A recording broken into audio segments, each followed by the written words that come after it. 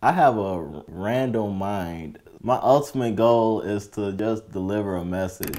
Welcome to the mind of a college student.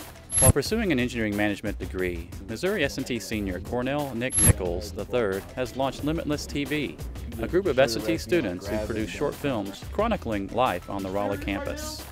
I just try to incorporate whatever comes to my mind into the video. Okay, pause. But before. A lot of the stuff is scripted. To me, it's easier to improvise from a script than no script at all. But just improvise it. Pops! Pops! Pops! Pops! I got some for him.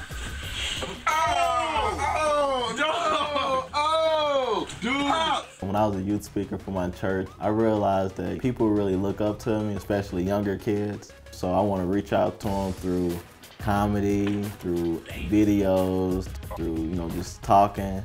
Talk to me. Hello, it's Cornell. Yeah, this me. You know a girl named Zanisha? I don't know no Venetia.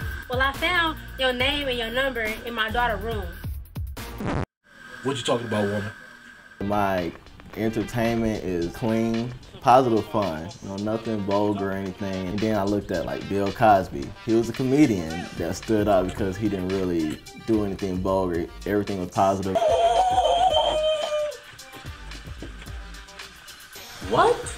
Doing the engineering management things, I can learn a lot about the management of a company and just tie that into entertainment. In the entertainment industry in which I want to go to, you have to deal with different personalities. Come on, let me see what you I got. got that new Think Like a Man director's cut for you.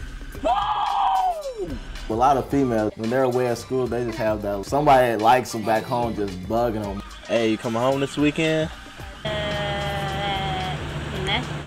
Hey, coming home this weekend? No. I'm not coming home this weekend.